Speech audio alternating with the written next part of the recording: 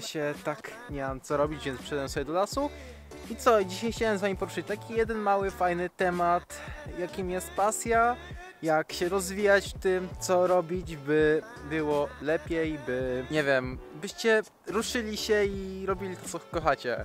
Przez ostatni też czas miałem jakąś taką dziwną obsesję, żeby robić wszystko perfekcyjnie, żeby wyglądało wszystko jak najlepiej, bym po prostu robił jak najlepsze wideo, ale jednego dnia patrząc na My Story, czy jak to się tam nazywa na Instagramie, tak jak mówię, zobaczyłem moją starą kamerę, czyli Canon 60D, który naprawdę był wow, czymś takim wiarygodnym, bo to był mój pierwszy aparat, niestety musiałem go sprzedać, ale to było naprawdę coś takiego pięknego, bo mogłem robić to co kocham i próbowałem wszystkiego dosłownie. Piękne w nagrywaniu, robieniu zdjęciach jest to, gdy ma się naprawdę taki, mogę, chip, takim e, prosty, tani, słaby aparat, ale robi się z tym jak najwięcej, próbuje się jak najwięcej i robi się to, co się kocha. Tak, przedtem moja mama do mnie powiedziała, rób wszystko na 100%. Muszę zacząć robić wszystko na 100%, taka jest prawda. Gdyby nie to, że kocham nagrywać, gdyby nie to, że kocham robić zdjęcia, to by zapewne mnie teraz tu nie było w tym momencie, w tej tutaj setnej sekundzie. Zapewne byłbym teraz przy komputerze i nic nie robił, a tak to co? Mogę usiąść przed kamerą, popatrzeć na nią, popatrzeć się w obiektyw, powiedzieć wam dwa, trzy słówka.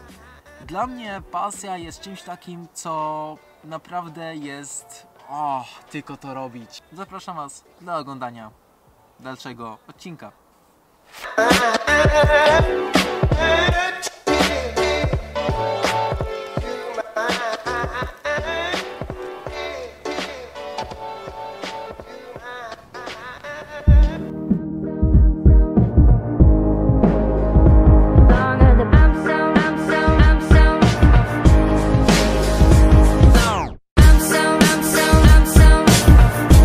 Jako merytorykę chciałem w tym filmie, żeby była, to żeby spełniać swoje marzenia, żeby robić to, co się kocha, żeby nie zbijać telefonu, żeby Sonego zbić, to jest naprawdę cud, żeby zrobić coś z nim.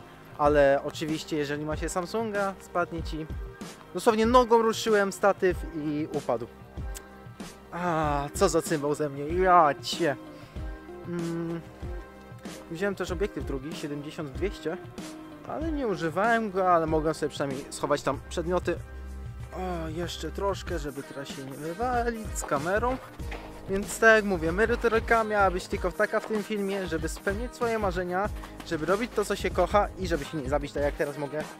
Dziękuję Wam bardzo serdecznie za oglądanie tego odcinka. W sumie to nagrywam teraz w drodze powrotnej. Jeśli Wam się spodobało, pamiętajcie o łapce w górę, komentarzu i subskrypcji, a ja lecę edytować filmik. No i jest mi głupio, że ten telefon zbiłem. Mm-hmm. Fuck.